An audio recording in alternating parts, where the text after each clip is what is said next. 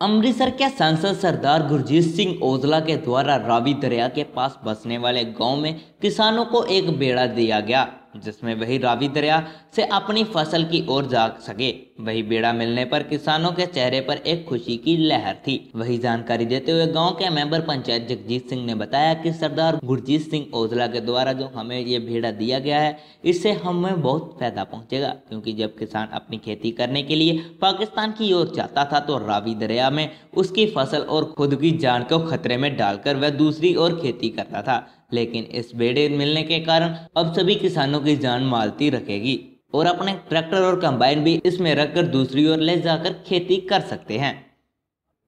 ਪਿੰਡ ਇਹ 100 ਪਿੰਡ ਬਲਦਾ ਬੇਦਰਾ ਜ਼ਮੀਨ ਅਗਲੇ ਬੰਨੇ ਕਾਫੀ ਹੈ ਜੀ।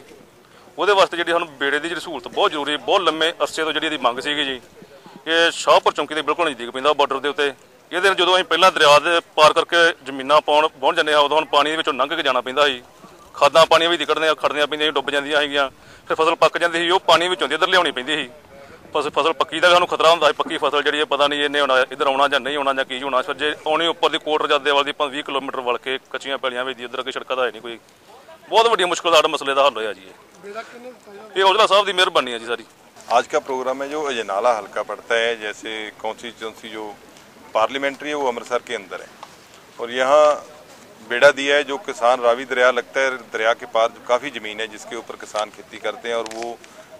جب بیڑا نہیں تھا تو وہ دریا کے اندر سے گزرتے تھے۔ چاہے وہ لیڈیز ہیں، چاہے وہ جینٹس ہیں، اور ان کے سند بھی جتنے بھی ٹریکٹر، ٹرالیز ہیں، وہ بھی سب اندر سے جاتے تھے پانی سے۔ تو کافی مس ہیپننگ ہوئی، کئی ڈیتھس بھی ہوئی ہیں اس کے اندر۔